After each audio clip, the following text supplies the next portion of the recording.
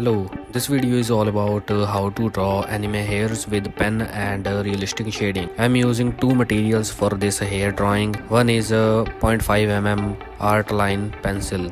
This is H B grade lead in this H B grade वाली pencil outline करने के लिए बहुत अच्छी होती है और second is big crystal pen this is also point five M M चलो ड्रॉ करते हैं। First grab a pencil simply draw a basic outline और ये भी बताना कि मैं कौन से एनिमी करेक्टर के, ये हेयर्स ड्रॉ करने वाला हूँ। आफ्टर आउटलाइन पेन से हल्का हल्का शेड करना स्टार्ट करो। जहाँ पे हाईलाइट करना है, वहीं पे शेड मत करना। जस्ट आपको डार्क एरियाज़ के लिए हल्का हल्का शेड करना है। आपको ये भी ध्यान रखना है कि हेयर्स पीछे की तरफ़ है तो हेयर्स की डायरेक्शन क्या होने वाली है? आपको धीरे धीरे ही शेड करना है।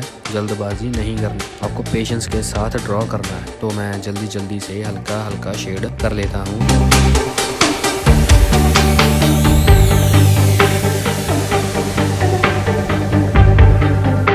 यू कैन सी मैंने हाईलाइट का पार्ट छोड़ दिया है। मैं इसकी जॉ लाइन भी ड्रॉ करने वाला हूँ। आफ्टर फ़र्स्ट लेयर कंप्लीट अब जो आपने पेंसिल से आउटलाइन ड्रॉ की थी, उसको इरेज कर दो। Now you can start dark shading but आपको धीरे धीरे ही करना है। आपको स्ट्रोक बाय स्ट्रोक लगाना है। इस टेक्निक को सिंगल लाइन हैचिंग कहते हैं। ये प्रोसेस थोड़ा स्लो होता है तो पेशेंस रखना। तो अभी वीडियो थोड़ा फास्ट हो जाएगा बट आपको स्लो प्रोसेस से ही करना है। एक और बात, आप जितना टाइम और एफर्ट्स अपनी ड्रॉइंग में लगाओगे फाइनल आउटपुट उतना ही अच्छा मिलेगा। नाउ यू कैन सी अभी से ही थ्री लुक आना स्टार्ट हो गया है। First side is done so I do other side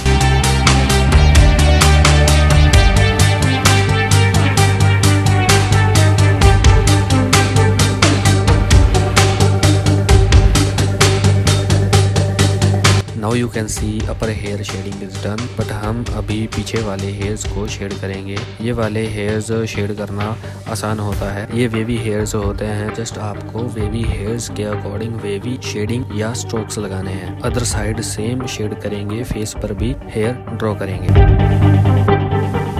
You can see the final result comment करके बताना कि आपको ये हेयर कैसे लगे और फेस पर कैसे शेड करते हैं और बॉडी पार्ट्स पर कैसे शेड करते हैं। अगर आपको मेरी तरह शेड करना सीखना है तो सब्सक्राइब कर लेना। I see you in next video bye